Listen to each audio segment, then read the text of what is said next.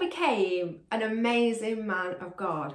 From being someone who was cruel and mean and unkind, the fruit of his life wasn't very good. The things that he was doing and showing weren't great at all. But then something happened. Jesus spoke to him, didn't he? And Paul listened.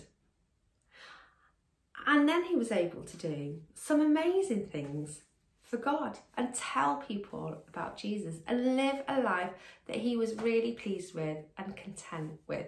Although there were some tricky things that happened, I wouldn't have liked being shipwrecked or bitten by a snake.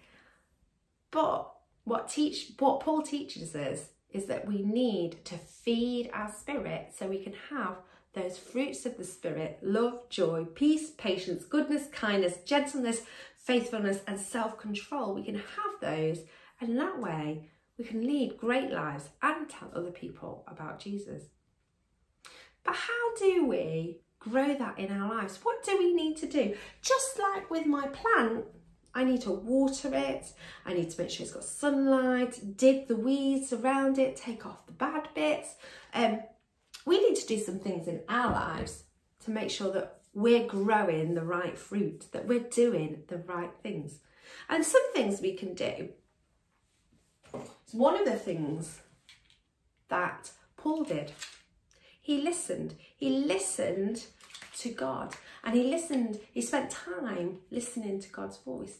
And that's a bit tricky um, because sometimes we just need to be quiet and listen. Sometimes we can listen to some worship music, some Christian music, like the songs we sang today, um, and God will speak to us that way. Sometimes God will speak to us by when we talk to other people about God and we have a conversation and you're like, oh, I've never thought about God that way. God sometimes talks to us that way.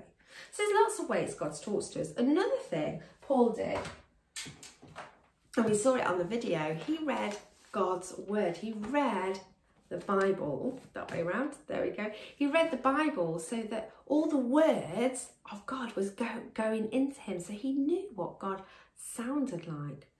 And there are things that we can do. We can read stories out of the Bible or watch on YouTube some Bible stories. If you ask your parents, I'm sure they'll get some up for you. And listen to some great Christian music or quietly sit and listen to God and, and talk to Him and tell Him about your day and the things that you love and the things that you're worried about.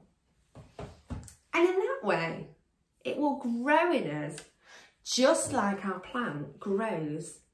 Those fruits of the Spirit will grow. You'll have more love, more joy, more peace, more patience, more goodness, more kindness, more gentleness, more faithfulness, and more self control. It's amazing, isn't it?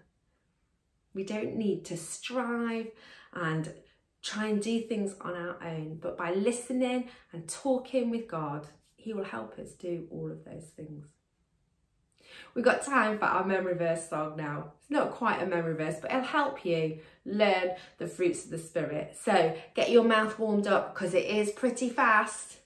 Here we go.